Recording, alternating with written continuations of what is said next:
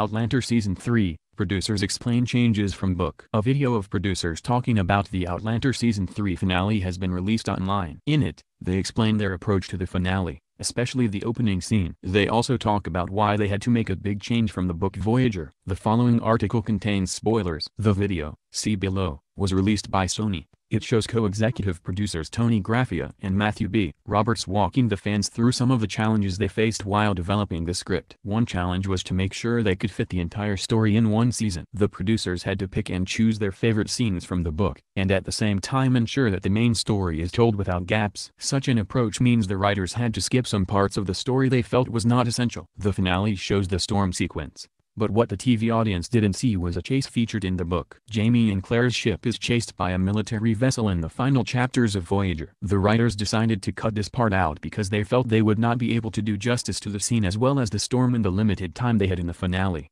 Roberts points out that they did try to do it. The chase was included up until the storyboard stage of development, in which scenes from the script are drawn on paper to see how it would look on screen. Eventually, they decided against doing both the chase and the storm. As far as the opening scene of Claire drifting underwater is concerned, Graphia says they always felt that this scene was poetic and mystical. According to them, they have always planned to use it. The opening line I was dead was provocative, and the producers always intended to start with this then let the rest of the episode catch up to this moment.